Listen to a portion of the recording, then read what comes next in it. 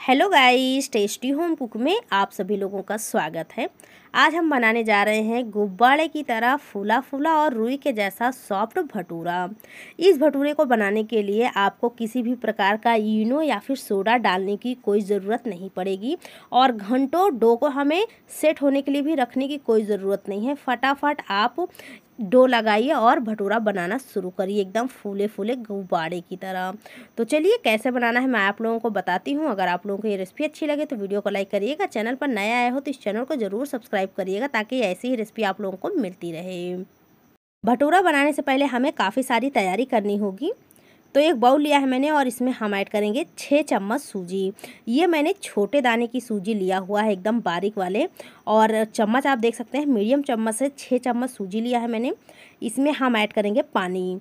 तो पानी हमें सूजी के ऊपर तक ऐड करना है और मिक्स कर देना है। हमें सूजी को पाँच मिनट के लिए छोड़ देना है भीगने के लिए, ताकि पानी में सूजी भीग जाए। उसके बाद मैंने लिया है दही। दही हमें जो है एकदम नॉर्मल लेनी है, ना बहुत ज़्यादा मीठी और ना ही बहुत ज़्यादा खट्टी। दही इस्तेमाल करेंगे हम डो लगाने के लिए। दही से जब आप डो लगाते हो तो भटूरा बहुत ही बढ़िया बनता है। तो पाँच मिनट का टाइम हो रहा है, सूजी अच्छे से भीग चुकी है। आप देख सकते हैं सारा पानी सूजी ने सोख लिया है। हमारी सारी तैयारी हो चुकी है। चलिए अब भटूरा बनाने के लिए हम डो रेडी करेंगे। तो मैंने ले लिया है 300 ग्राम मैदा। मैदे को पहले आप छान लीजिए, उसके बाद मैदे में थोड़ा सा स्पेस बनाया है मैंने। इसमें हम आधा चम्मच ऐड करेंगे शुगर पाउडर, यानी घर की चीनी को ग्राइंड करके मैंने यहाँ पर शुगर पाउडर रेडी किया है और उसे आधा चम्मच इस्तेमाल करेंगे। आधा चम्मच नमक ऐड किया है मैंने और सूखा सूखा सभी चीज़ों को मिक्स कर देते हैं। उसके बाद हम मैदे में ऐड करेंगे सूजी और अपने हाथों से मैश करते हुए मिक्स करेंगे। पहले हम मैदे में सूजी को डाल के मिक्स कर लेते हैं तो हमें अंदाज मिल जाता है कि हमें दही का इस्तेमाल कितना करना है। उसके बाद हम थोड़ा थोड़ा सा दही डालते हुए डो तैयार करेंगे। इस डो को रेडी करने में हमें पूरा जो है दही का इस्तेमाल करना है। बिल्कुल भी आप पानी इस्तेमाल नहीं करेंगे। दही डालने से जो है डो आपका फूलता है और भटूरा ज़्यादा सॉफ्ट बनता है और काफ़ी जो है हद तक भटूरा एकदम गुब्बारे की तरह फूलता है। तो ये जो है इकट्ठा हो चुका है सारा मैदा। अब एक थाली में एक चम्मच रिफाइंड ऑयल ऐड किया है मैंने। मैदे का छिड़काव करेंगे और डो को रखेंगे हल्के हाथों से प्रेस करते हुए। इसे जो है हम मैश करेंगे।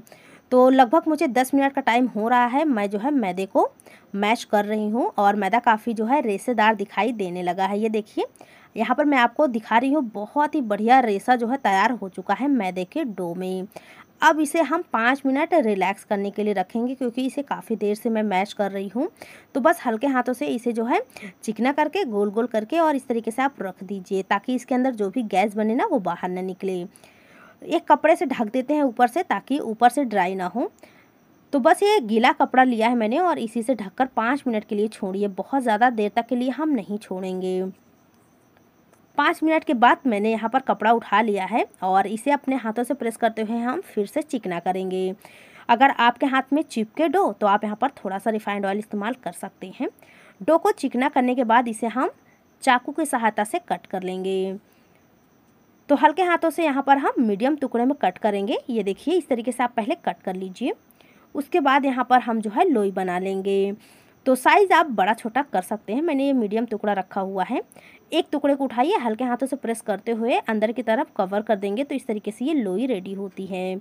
उसके बाद गोल गोल घुमा दीजिए तो ये बढ़िया सी आपकी लोई तैयार हो जाती है। अगर आप भटूरा बना रहे हो तो इस तरीके से लोई बनाइएगा, बहुत ही बढ़िया भटूरा बनेगा। सारी लोई यहाँ पर तैयार हो चुकी है। ऊपर से थोड़ा सा ऑयल लगाएँगे ताकि लोई जो है हमारी ऊपर से ड्राई ना हो। गीले कपड़े से ढक देंगे और जैसे जैसे हमें भटूरा बनाना होगा, वैसे वैसे ही हम लोई उठाएँगे और चाकला ले लेंगे और चाकले के ऊपर थोड़ा सा हम रिफाइंड ऑयल लगा लेंगे ताकि चाकले से चिपके नहीं लोई। लोई को रखिए आप, हल्के हाथों से प्रेस करिए थोड़ा सा बड़े साइज़ का जब हो जाएगा, एक बेलन लेंगे और बेलन की सहायता से इसे हम बेल लेंगे। तो यहाँ पर आप भटूरे का जो है साइज़ बड़ा छोटा रख सकते हैं या फिर आप चाहें तो गोल साइज़ का बना सकते हैं। मैं यहाँ पर ये लंबे साइज़ का भटूरा बना रही हूँ। ये देखने में बहुत ही प्यारा लगता है इसीलिए। तो इस तरीके से आप भटूरे को बेल लीजिए और इतना मोटा हमें इसे रखना है। भटूरे को फ्राई करते समय ध्यान रखिएगा। ऑयल आपका अच्छा गर्म होना चाहिए और गैस का फ्लेम हाई रखेंगे। जैसे ही भटूरा हल्का सा फूलना शुरू होता है, फिर हम भटूरे को टच नहीं करेंगे। भटूरे के ऊपर ऑयल डालना शुरू करेंगे, जिससे कि भटूरा एकदम गुब्बारे की तरह फूलेगा। अलट पलट करते हुए उसके बाद हमें फ्राई कर लेना है।